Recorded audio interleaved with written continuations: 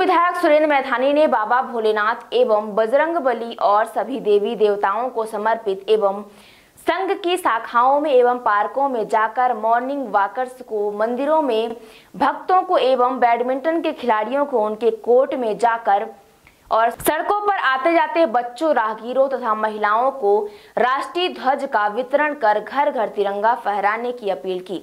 आइए दिखाते हैं विराट 24 न्यूज़ के लिए कानपुर देहात से सुरेंद्र मिश्रा की रिपोर्ट। का है तेरह से पंद्रह के बीच में नमस्कार सर।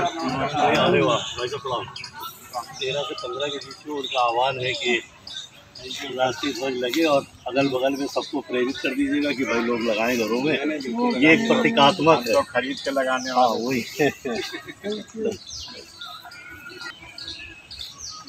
ये मंथानी साहब हैं एमएलए अरे आप मोहल्ले। ये छोटे।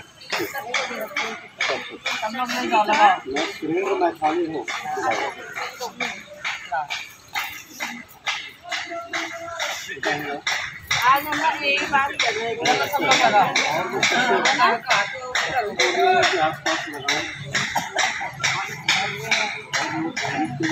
सब लोग लगाना।